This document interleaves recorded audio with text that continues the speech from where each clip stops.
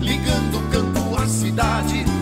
Do agronegócio às ações sociais, isenção e seriedade, mostrando tudo o que acontece nos setores do meio rural, pecuária, agricultura, novidades em geral.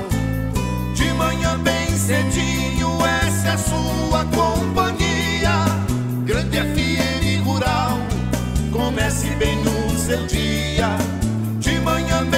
Bem cedinho, essa é sua companhia.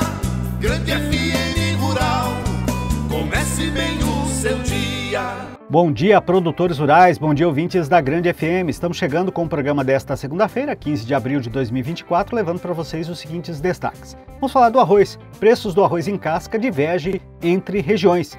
Exportações de carne suína do Brasil alcançam o menor volume desde fevereiro de 2023. El Ninho deve causar redução de 8% na safra de grãos. Bung prevê expandir 140% o programa de agricultura regenerativa aqui no Brasil.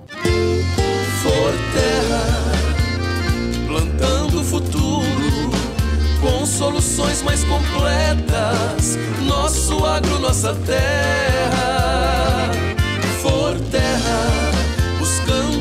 Novos horizontes, construindo uma história de paixão e compromisso pela Unidades em Dourados, Carapó, Rio Brilhante, Sidrolândia, Laguna Carapã e Ponta Porã. 22 22 25 22. Juntos somos Forterra. Amigo agricultor, nós da Agro Jangada construímos com você uma história de tradição e confiança em mais de duas décadas de trabalho, parceria e crescimento. Com a parceria Singenta, colocamos à sua disposição o mais completo portfólio de insumos e serviços. Visite-nos ou fale com um de nossos consultores e confira as novidades. Agro Jangada e Singenta. Estar sempre ao seu lado, esse é o nosso compromisso. Agro Jangada, uma empresa do Grupo Singenta. A RR Tecnologia Agrícola é uma empresa especializada em agricultura de precisão, capacitada para atender todas as marcas e modelos de GPS. A RR faz projeto de pulverização e plantio, atendimento no campo e reparos em GPS, antena e piloto automático, além de oficina mecânica para Case New Holland. A RR realmente resolve. RR Tecnologia Agrícola, Marcelino Pires, 517 Sala B. Instagram, RR Tecnologia Agrícola. ponto Personal Pilot. WhatsApp 67 99971 3570. O que a meteorologia nos reserva hoje? Confira. Na região centro-oeste, a semana assim começa assim como terminou, com instabilidade climática, pois ainda temos muitas nuvens carregadas pairando sobre os estados e também sobre o Distrito Federal, trazendo chuvas ao longo do dia. Em Brasília, não deve chover e as temperaturas oscilam entre 19 e 27 graus. Em Cuiabá, no Mato Grosso, pode chover à tarde e à noite, com volume estimado de 20 milímetros e temperaturas variando entre 25 e 33 graus. Em Mato Grosso do Sul, a previsão do dia de temperaturas agradáveis, aumento de nuvens e chuvas localizadas em vários pontos do estado. Em Campo Grande, são esperados para hoje 17 milímetros de chuvas e temperaturas ficando entre 22 e 29 graus. Em Dourados região, deveremos ter um dia de sol entre nuvens, períodos nublados, aumento na sensação térmica, pois ainda temos muita umidade no ar. Pode garoar à tarde e à noite com volume estimado de 20 milímetros, temperaturas ficando entre 22 e 27 graus. Informações climáticas do IMET, Instituto Nacional de Meteorologia, aqui para a Grande FM. A Casa da Lavoura em Dourados e Douradina tem uma linha completa de defensivos, fertilizantes e sementes de soja, milho e pastagens e os melhores produtos biológicos do mercado. E sempre buscando inovação e qualidade, tem uma equipe técnica exclusiva para atender ao produtor rural. Casa da Lavoura, soluções de agricultor para agricultor. Em Dourados, telefone 3426 7288 e em Douradina 3412 1171. Casa da Lavoura, parceiro exclusivo Coopert. Biológico é Copet. Exclusivo para agricultores e profissionais do agro. A Casa da Lavoura de Dourados e Douradina representa a melhor empresa de sementes de milho do mercado. A KWS Sementes, multinacional alemã com mais de 160 anos de tradição no mercado de sementes. Aqui você encontra o K9606 VIP3, um dos híbridos mais vendidos do Brasil por ser referência em estabilidade e produtividade. Casa da Lavoura, soluções de agricultor para agricultor. Em Dourados, telefone 3426 7288. Em Douradina, Londrina, 3412 1171. Casa da Lavoura, parceiro KWS Sementes. Em Dourados tem trator solo 25 anos no mercado com amplo estoque de peças Kun. Peças para todas as máquinas e implementos da marca Kun. Toda a linha de filtros, rolamentos, retentores, lubrificantes, grades e discos com atendimento diferenciado e personalizado e agilidade na entrega. A Trator Solo oferece assistência técnica em todas as marcas de máquinas agrícolas, com uma equipe treinada e capacitada de pós-vendas. Trator Solo, uma das maiores revendas autorizadas Kun no mundo. A Avenida Marcelino Pires 7530 Jardim Márcia. Ouça agora as cotações agropecuárias. O mercado de capitais brasileiro registrou o recorde de captação no primeiro trimestre de 2024, 130,9 bilhões de reais, crescimento de 90,8% na comparação com o mesmo período do ano passado. O resultado foi puxado pela renda fixa, que captou 114,1 bilhões de reais e chegou ao maior patamar para o período. Os dados foram divulgados pela Ambina, que é a Associação Brasileira de Entidades dos Mercados Financeiros lá de capitais. Os debentures seguem como o principal instrumento de captação das empresas, com um volume de 71,9 bilhões de reais no primeiro trimestre, quase o dobro do volume registrado pelo IT 23 de 37 bilhões de reais. Já os números do mercado agropecuário, de acordo com informações da FamaSul, arroba do boi gordo, hoje aqui no estado, abre a semana cotada R$ 213,50, a vaca gorda arroba R$ 200,50. A soja, no disponível, comercializada em Mato Grosso do Sul, a R$ 113,00, enquanto o milho também no disponível, valendo R$ 52,15 a saca. Em Dourados, você pode contar com a Tornearia e Metalúrgica Inox Service. Serviços industriais, como serviços de tornearia em geral, corte e dobra de chapas de aço, serviços para armazenagem de grãos, fábrica de rações e laticínios, atendendo empresários e produtores rurais em Dourados e região. Tornearia e Metalúrgica Inox Service. Fica no Jardim Ibirapuera, na rua Maria Messa Machado, número 660, próximo ao CCZ. Ligue 99954 9432. Fale com Leonardo para a lavoura ter Singenta para ajudar. A marca da qualidade é Singenta, vamos usar. Proteção para o cultivo, tranquilidade no colher. Singenta é lucro certo que a Comide traz pra você. Proteja o seu cultivo prevenindo e curando doenças. Deixe sua lavoura muito mais vigorosa. Comide representa Singenta para Dourados e região. A marca da lucratividade da sua lavoura. Produtor amigo, não duvide. Pensou Singenta, procure a Comide. Consulte um agrônomo. As notícias do campo estão chegando para deixar você bem informado.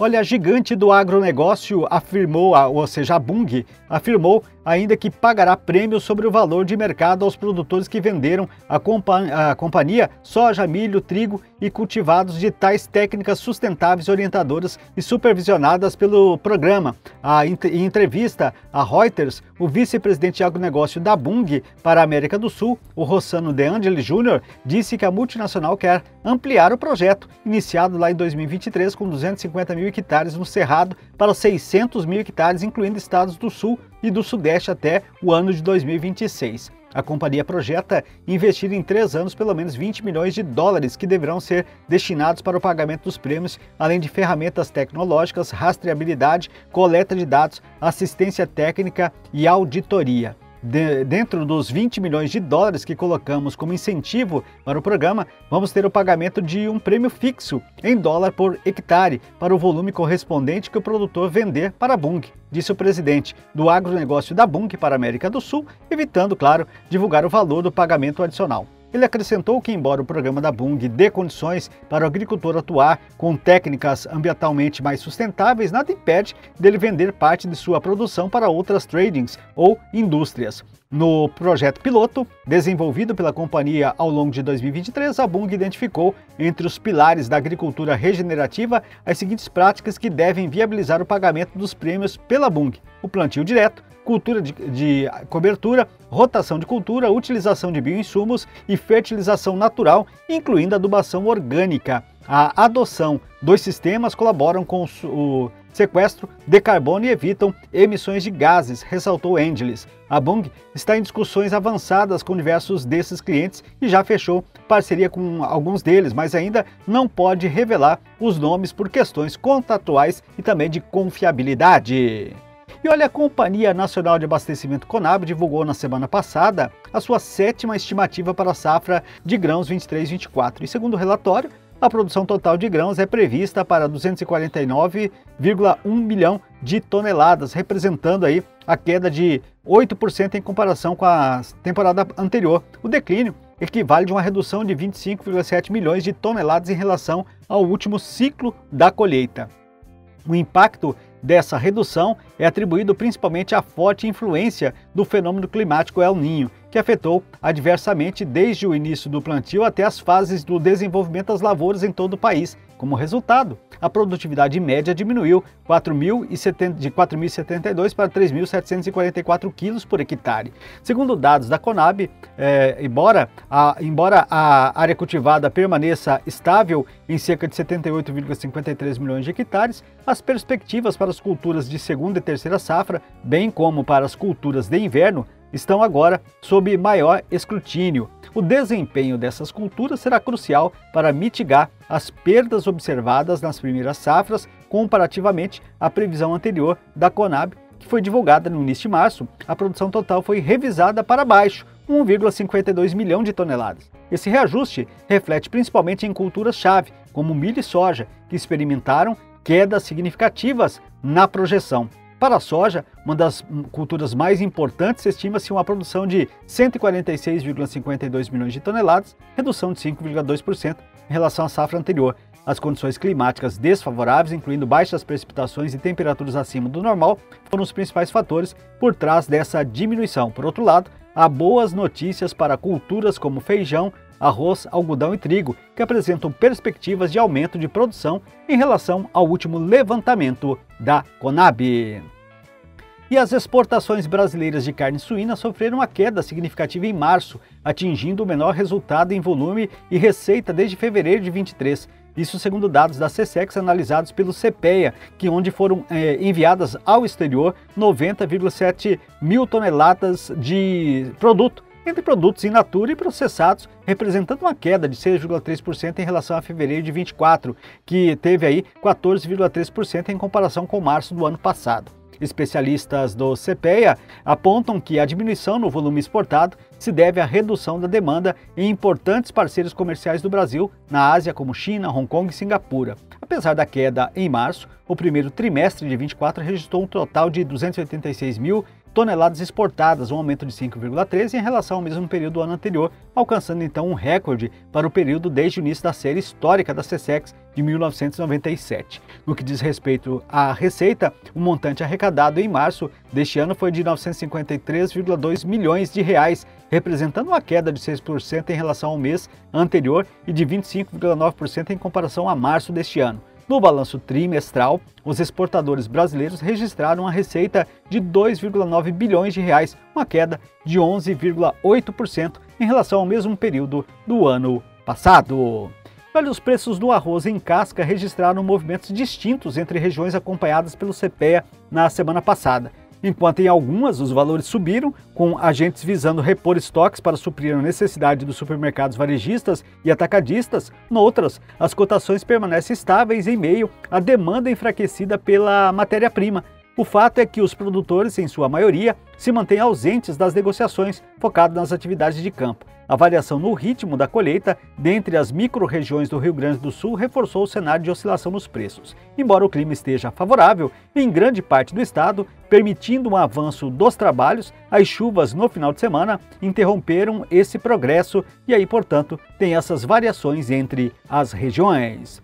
Já os preços do trigo iniciaram abril em alta na maioria das regiões consultadas pelo CPEA, refletindo o acirramento da disputa pelo produto de maior qualidade, ou seja, pH 78. Além disso, a valorização cambial, que deixa o grão nacional mais atrativo aos consumidores, e a retração dos triticultores brasileiros também sustentam as cotações do cereal. Por outro lado, o movimento de alta foi limitado na semana passada pelas vendas enfraquecidas das farinhas de trigo no Brasil. Segundo pesquisadores do CPEA, representantes das indústrias sinalizam dificuldade em repassar o valor da matéria-prima para os derivados, o que vem reduzindo a margem de lucro. E produtores, por sua vez, estão atentos ao clima, já avaliando sobre o cultivo da safra 24-25 aqui no Brasil. O Laticínios Cambi está sempre inovando para atender aos seus consumidores. E agora, além de produzir o leite de qualidade, também está oferecendo toda a delícia do queijo tipo frescal. Novidade em sua mesa, ao lado da bebida láctea, manteiga, requeijão e outras delícias com a marca Cambi. Na hora de suas compras, peça produtos Cambi. Leite que é leite, é leite Cambi. Laticínios Cambi. Telefone 3424 1213. Wilton Pneus, sua melhor opção em Dourados. Pneus agrícolas e industriais à pronta entrega em três vezes sem juros. Pneus para veículos de passeio, nacionais e importados em 12 vezes sem juros. Conheça o showroom da Wilton Pneus e faça um excelente negócio. Avenida Marcelino Pires, 283, próximo ao Parque do Lago. Ou ligue 34217700. Repetindo, 34217700. Wilton Pneus, especialista em pneus. Deus. O nosso convidado na sala de visita traz para você boas informações. Hoje na nossa sala de visitas está chegando o material da Rádio Web para falar que Instituto leva a aprendizagem profissional a filhos de agricultores. Uma iniciativa que leva a aprendizagem profissional a filhos de produtores rurais completa nove anos em abril. O Instituto Crescer Legal surgiu no Rio Grande do Sul e hoje já atende jovens entre 14 e 17 anos em 20 municípios da região sul. Mais de mil jovens aprendizes já foram beneficiados. O programa de aprendizagem profissional rural conta com 54 turmas e oferece oportunidades para que os jovens frequentem o curso de empreendedorismo e gestão rural no contraturno escolar. A coordenadora de aprendizagem profissional do Rio Grande do Sul, Denise Brambila, destaca a iniciativa que o Instituto Crescer Legal é muito eficiente no que faz, na condução da capacitação desses jovens para o mundo do trabalho. Se não é o mundo do trabalho na própria empresa que o cotiza, é o mundo do trabalho com menos penosidade na sua própria propriedade rural, também com outras culturas e outros projetos de vida que ele pode fazer lá na sua própria propriedade, com gestão rural, com novas tecnologias. Ah, o curso de aprendizagem abre um campo visionário para esse jovem de que se no momento ele quiser sair do campo, ele sabe o que está deixando para trás, porque lá tem grandes possibilidades. O Instituto Crescer Legal conta com indústrias do setor do tabaco entre suas associadas. O modelo de formação profissional é validado pelo Ministério do Trabalho e utiliza a lei da aprendizagem. Neste ano, sete novos municípios foram beneficiados com o início das turmas. São João do Triunfo, no Paraná, Itaiópolis, em Santa Catarina,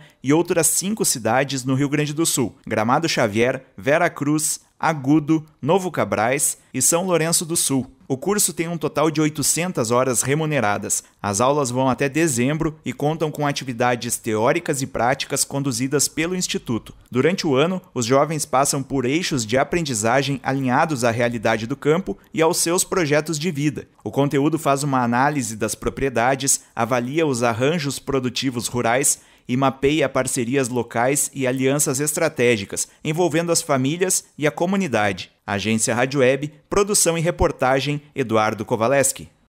Alta Paulista, empresa especializada em peças para toda a linha do agronegócio. Peças para tratores, plantadeiras, plataformas, pulverizadores, colheitadeiras e para todo tipo de máquinas pesadas das principais marcas do mercado e agilidade na entrega. Soluções de alto desempenho para manter sua máquina em movimento é com a Alta Paulista. Nessa você pode confiar. Alta Paulista Peças Agrícolas. Sua máquina sempre em movimento. Marcelino Pires 6505, telefone 67 3424 6235. Ponto final aqui no nosso programa Grande FM Rural desta segunda-feira. Obrigado a cada um de vocês que estiveram acompanhando com a gente o nosso noticiário, as nossas informações. Claro, marcamos um novo encontro amanhã em mais uma edição do nosso programa Grande FM Rural. Um forte abraço a todos e até o nosso próximo programa.